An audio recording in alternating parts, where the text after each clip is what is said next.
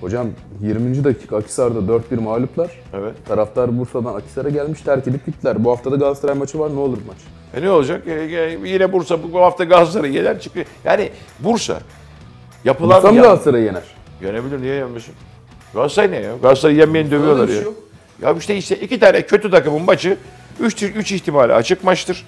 Bursa'nın da Galatasaray'ı yenme ihtimali, Galatasaray'ın Bursa'yı yenme ihtimalinden bana göre. Maç Bursa'da değil mi? Bursa'da. Bursa'nın daha fazladır ama bu bana göre konuşulacak falan bir maç değil Bursa açısından. Bursa şu anda Türk futbolunda önemli bir figür değil.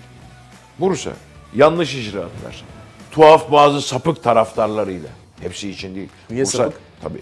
Bursa önemli bir futbol şehridir ama orada bir gruplar var falan. Ya şu sapıklık değil mi ya?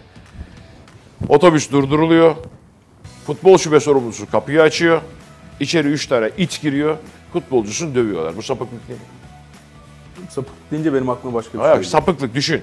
Bursa takımı gidiyor. Önünü kesiyorlar veya bir yerde duruyorlar.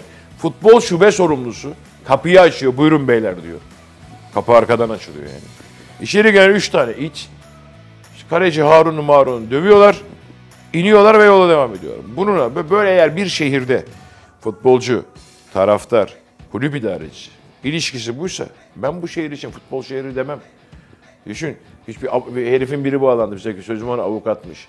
Sahaya atlayan taraftarı karakoldan alıp ailete teslim ettik diyor ve bunda gurur duyuyorsan Bursa tipinden yıkılmalıdır. Bursa futbolu yeniden yapılanmalıdır.